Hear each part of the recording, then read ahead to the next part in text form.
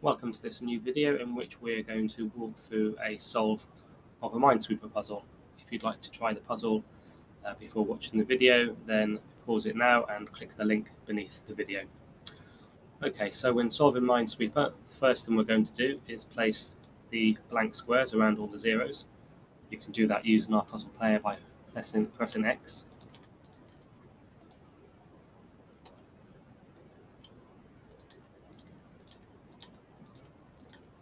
So we mark all the x's in around the three zeros to demonstrate that they can't contain a mine. Now we're going to look for squares that must contain mines. So if we look up here at the top right, we have a 1 and only one square that's available for the mine. And that then also means the other two ones are complete because they're touching a mine so we can mark the squares around those as blank. So just to remind you of the rules, diagonally touching squares count as well as those that are adjacent. Now if we look at this 3, then we have the same situation. We have three squares that are empty and three mines to place. So they must all contain a mine. And this 3 is the same again. It's got two mines, but it needs three. These are both taken already with a given digit, so can't contain mines. That just leaves this square here. And so we can put a mine in there. Now, if we look at this 2, then we have exactly the same situation. It needs two mines around it, and there's only two empty squares so we can place them here and here. And often that's how you'll start a Minesweeper puzzle. You'll of course put all the X's in around the zeros and then you'll look for squares that must contain mines. Um, but as you progress with the solve of most Minesweeper puzzles, things will be a little more difficult and you'll have to cross-reference between uh, the numbers and the deductions that can help you make. So, okay, let's look at this 1 and 3. So we know that only one of these four squares can contain a mine. And we notice that three of them are shared with this three. So this square, this square, and this square neighbour both the one and the three. And that's very typical of the sort of information you need to use to make progress in a Minesweeper puzzle. So because we know that this highlighted three must have three neighbours containing mines, but we know these three are shared with one, then we know that only one of these can contain a mine. And therefore that only leaves two other places available. So we know that both of those two squares must contain a mine. And in fact, in the process that completes this two. So we can mark x's in all the other squares that neighbour the two. And now we only have one square left available for the third mine. So that must go here. And that of course completes our one.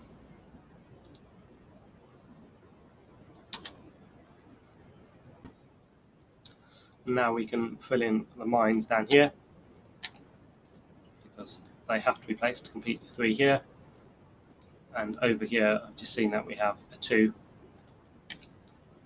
and two available squares. Okay, so we place those.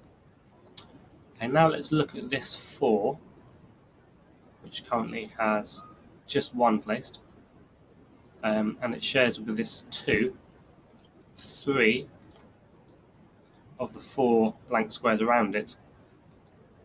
So clearly a maximum of two of these can contain a mine and therefore this means that this square must contain a mine.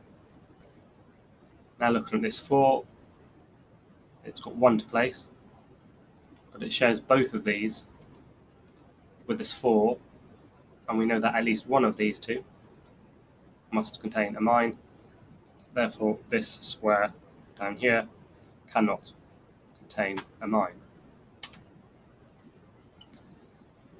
Now let's look at this three. So it's got two mines currently placed, and it needs another. But again, using the cross-referencing logic, we can see it shares all three of its neighbours with four. And this four has already got three mines placed, so it just needs one more. So that tells us that since one of these three squares must be a mine, that will complete the four, then we can't put a mine in this square here. And that now enables us to complete this four by placing a mine here. And this four now only has one other place available for its other mine, which we can place here. Now let's just do some checking. So this two has got both mines placed, so that becomes an X. This one has got its mine placed, so that becomes an X.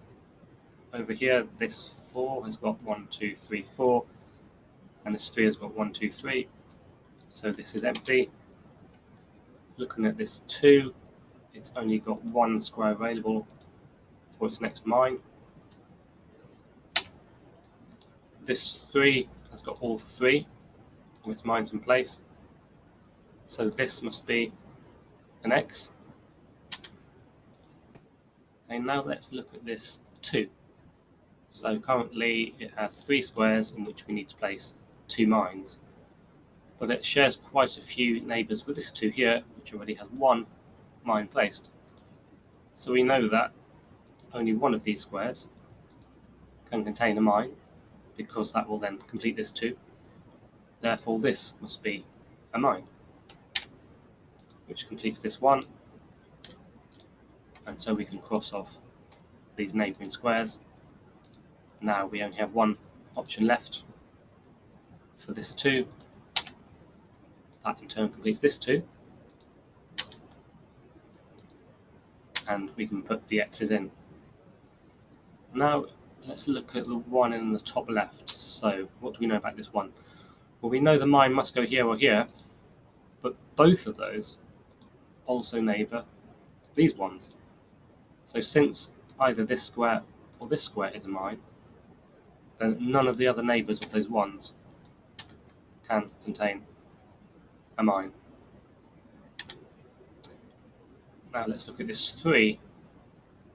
Well, we know that only one of these two squares can contain a mine, because of the one here. And likewise, because of this one, we know that only one of these squares can contain a mine. And since it needs three mines around it, and only one can go here and one here, then the third mine must go up here. And that then takes out this square. So now let's see if we can find out where the other two mines around this tree must be placed. Okay, so let's consider what would happen if this square were to contain a mine. So let's just mark it. Then we can see that it satisfies this one, but also this one. And that would be crucial because if this one has its mine here, then that would mean these four squares must all be blank. And that means this one could never have a mine next to it. Therefore, that can't be a mine, and so it must be blank. Now we know that one of these two squares contains a mine, and one of these two squares contained a mine. Well, it must be this one, we've just proved it. And therefore that satisfies all of these ones. So we can place x's around here, and now this mine here enables us to rule out a mine here, and therefore the final mine in the puzzle must go here. Let's check the solution. Yep, all good. Okay, we hope you found that video useful. If you have any comments or feedback or ideas for other videos that you'd like to see, please just let us know. Thanks for watching.